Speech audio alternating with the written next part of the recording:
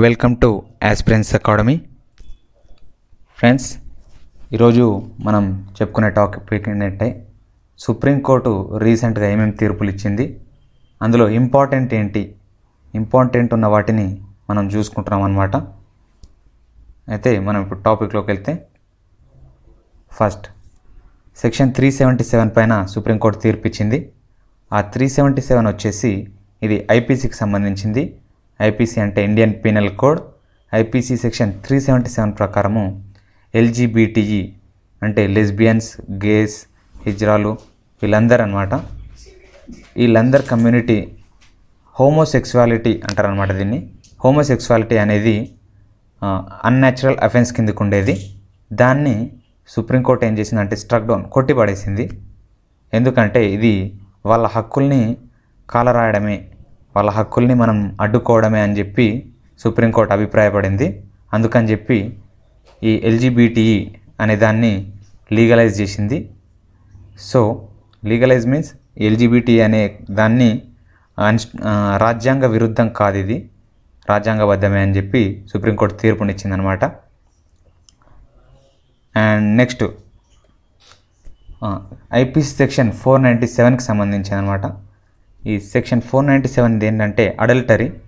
Adultery అంటే మీకు already తెలిసి ఉంటుంది. అడల్టరీ అంటే యాక్చువల్గా వ్యభిచారం అనమాట దాని మీనింగ్ వచ్చేసి అయితే సుప్రీంకోర్టు ఏం తీర్పిచ్చిందంటే అనుమతి పరస్పర అంగీకారంతో లైంగిక చర్యలో పాల్గొంటే అది అడల్టరీ కిందికి రాదు అని చెప్పి సుప్రీంకోర్టు తీర్పు చెప్పింది.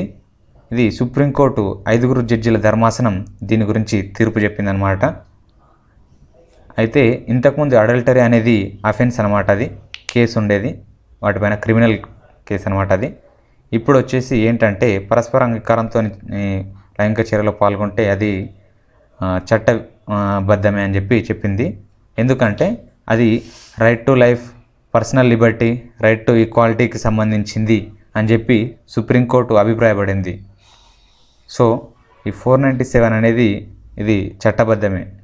ఇది మెజారిటీ అంటే ఎయిటీన్ ఇయర్స్ వచ్చిన ఎవరైనా సరే వాళ్ళు పరస్పర అంగీకారంతో అడల్టరీ గనక జరిగితే అది చట్టవిరుద్ధం కాదు అని చెప్పి సుప్రీంకోర్టు ఒక చరిత్రాత్మకమైన తీర్పు చెప్పిందనమాట. ఇప్పుడు ట్రిపుల్ తలాక్. ఈ ట్రిపుల్ తలాక్ అనేది మనకు ఎక్కువగా మనకు మన ముస్లిం సాం సాంప్రదాయం ప్రకారము ట్రిపుల్ తలాక్ అనేది ఉంటు ఉండేది. అయితే సుప్రీంకోర్టు ఏం చెప్పిందంటే ఇన్స్టెంట్ ట్రిపుల్ తలాక్ అంటే అప్పటికప్పుడు ట్రిపుల్ తలాక్ చెప్పడము నేరము అది క్రిమినల్ అఫెన్స్ అని చెప్పి సుప్రీంకోర్టు తీర్పు ఇచ్చిందనమాట ఇన్స్టెంట్గా ట్రిపుల్ తలాక్ చెప్పడము. అయితే గవర్నమెంట్ ఏం చేసిందంటే మన గవర్నమెంట్ ఈ ట్రిపుల్ తలాక్ సంబంధించి ఒక ఆర్డినెన్స్ జారీ చేసిందనమాట అండ్ దీనిపైన విచారణకు ఒక కమిటీ కూడా వేసిండ్రు. అయితే ఆ కమిటీ రిపోర్ట్ ఇంకా ఇవ్వలేదు. రిపోర్ట్ ఇచ్చిన తర్వాత ఫర్దర్గా ఉంటుందన్నమాట.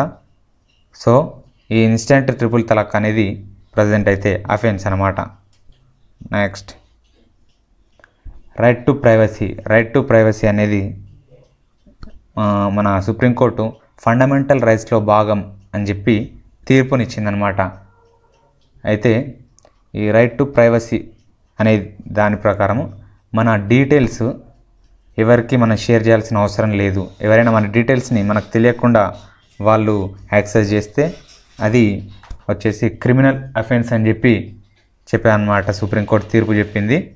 ఇది సుప్రీంకోర్టు తొమ్మిది జడ్జీల ధర్మాసనం యునానిమస్గా ఏకగ్రీవంగా ఇది తీర్పు చెప్పింది. రైట్ టు ప్రైవసీ అనేది. ఎందుకంటే ఫర్ ఎగ్జాంపుల్ మనం చూసుకుంటే మనం మన మొబైల్లో యాక్సెస్ చేసేది మన నెట్ యాక్సెస్ చేసేది కానీ మన డీటెయిల్స్ మన కాంటాక్ట్స్ కానీ ఎవరైనా మనకు తెలియకుండా వాళ్ళు వేరే వాళ్ళు యాక్సెస్ చేయగలిగితే హ్యాకింగ్ చేయగలడం ఇదంతా నేరం అని చెప్పి సుప్రీంకోర్టు తీర్పు చెప్పిందనమాట అండ్ నెక్స్ట్ ఆధార్కి సంబంధించి కూడా సుప్రీంకోర్టు కీలకమైన తీర్పునిచ్చింది. ఏంటంటే ఆధార్ అనేది అన్ని ప్లేస్లో కంపల్సరీ కాదు అని చెప్పి సుప్రీంకోర్టు తీర్పునిచ్చింది. ఇది కేవలం కొన్ని గవర్నమెంటల్ స్కీమ్స్ అండ్ కొన్ని గవర్నమెంట్ పర్పస్లకు మాత్రమే ఇది అవసరము. ప్రైవేట్లో ఎక్కడ ఇది అవసరం లేదు.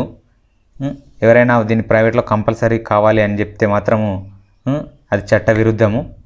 అది నేరం అని చెప్పి సుప్రీంకోర్టు తీర్పునిచ్చిందనమాట. ఇంక్లూడింగ్ మనకు బ్యాంక్స్ కానీ సిమ్ కార్డులు తీసుకోవడానికి కానీ ఆధార్ కార్డు అవసరం లేదు. సో ఇది ఆధార్ కార్డుకి సంబంధించిన కీలకమైన తీర్పు అనమాట నెక్స్ట్ మనం చూసుకుంటే శబరిమలకు సంబంధించింది అనమాట శబరిమల మన అయ్యప్ప స్వామి టెంపుల్. ఇది ట్రావెన్కోర్ దేవస్థానం వారి ఆధీనంలో ఉంది. అయితే ఇక్కడ ఈ జడ్జిమెంట్కి ముందు ఏంటంటే మహిళలకు ఇక్కడ పది నుంచి యాభై సంవత్సరాల లోపున మహిళలకు ఇక్కడ ప్రవేశం లేదు. ఎందుకంటే ఆ టైంలో మహిళలకు ఋతుస్రావం జరుగుతుంది. అండ్ మన అయ్యప్ప స్వామి ఆజన్మ బ్రహ్మచారి అని చెప్పి మన భక్తుల విశ్వాసం. సో మన సాంప్రదాయం ప్రకారం వాళ్ళకు ఇక్కడ మన దేవాలయంలోకి అనుమతి లేదనమాట అయితే దీనికి సంబంధించి సుప్రీంకోర్టు ఐదుగురు జడ్జిల ధర్మాసనం ఒక కీలకమైన తీర్పునిచ్చింది. ఏంటంటే ఇది రైట్ టు ఈక్వాలిటీ అంటే సమ సమానత్వపు హక్కుని మనము తొక్కి అణ అణచివేస్తున్నామని చెప్పి సుప్రీంకోర్టు అభిప్రాయపడి ఏం చెప్పింది? మహిళలకు అక్కడ ప్రవేశం కల్పించింది. సో ఇక్కడ చూసుకుంటే ఐదుగురు జడ్జిలు ఎవరెవరు ఉన్నారంటే అక్కడ దీపక్ మిశ్రా అలాగే జస్టిస్ ఆర్ఎఫ్ నారిమన్ అలాగే ఏఎం కన్విల్కర్ డివై చంద్రచూద్ వాళ్ళతో పాటు ఒక మహిళా జడ్జ్ ఇందు మల్హోత్రా ఉన్నారనమాట వీళ్ళందరి లోపల ఇందు మల్హోత్రా వచ్చేసి అపోజ్ చేసింది వాళ్ళ అభిప్రాయాన్ని. ఫోర్ ఇస్ట్ వన్ రేషియోలో ఈ తీర్పు వచ్చింది. అయితే హిందూ మల్హోత్రా గారు ఎందుకు అపోజ్ చేశారంటే right to religion and right to equality అనేది రెండింటి మధ్య అక్కడ వివాదం ఏర్పడింది.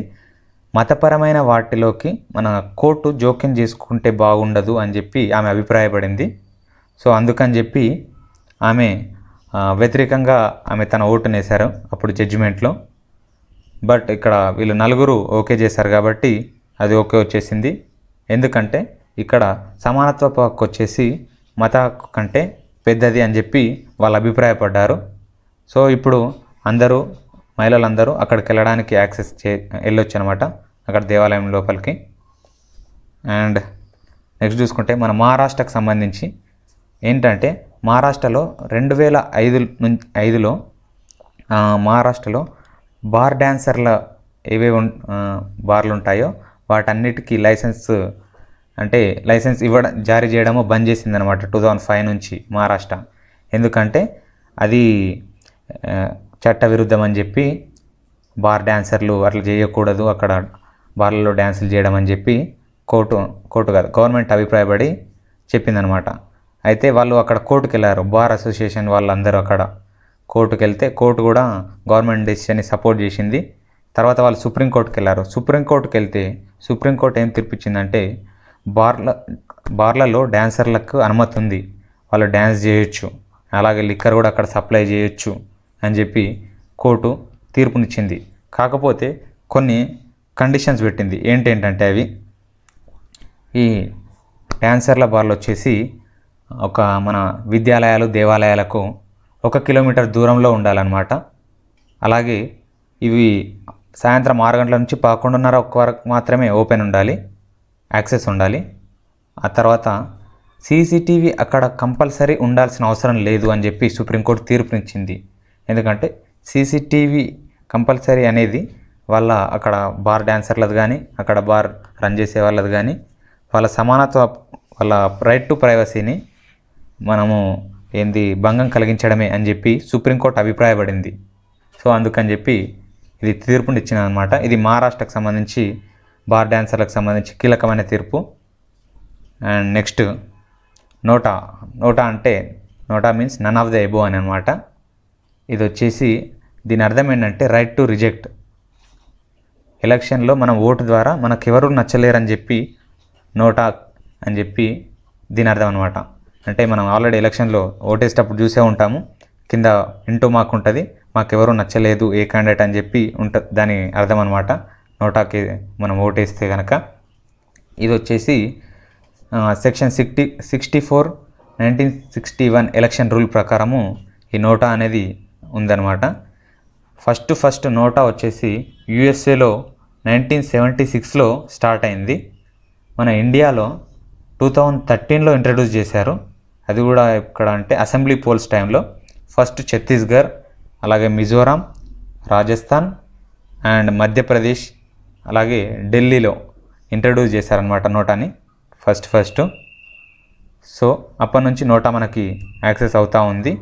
రీసెంట్గా మనకు పంచాయత్ మన తెలంగాణలో కూడా పంచాయతీరాజ్ ఎలక్షన్స్లో కూడా ఇంట్రడ్యూస్ చేశారు నోటాని. సో ఇవి ఫ్రెండ్స్ ఇవాళ మనకు సుప్రీంకోర్టు మెయిన్ వర్డిక్స్ వచ్చేసి మీకు నచ్చాయనుకుంటాను నచ్చితే లైక్ చేయండి అలాగే మీకు షేర్ చేయండి. సబ్స్క్రైబ్ చేసుకునే వాళ్ళు ఉంటే సబ్స్క్రైబ్ చేసుకోండి. అండ్ మీవి ఏమైనా సజెషన్స్ కానీ కామెంట్స్ కానీ అండ్ మీకు ఏమైనా ఇన్ఫర్మేషన్ కావాలి దాని గురించి చేయమని చెప్పి మీకు కావాల్సి ఉంటే కింద పోస్ట్ చేయండి. మేము వాటిని తీసుకొని మేము ట్రై చేస్తాం వాటి మీద చేయడానికి. So hope you all understood thank you for watching Jai Hind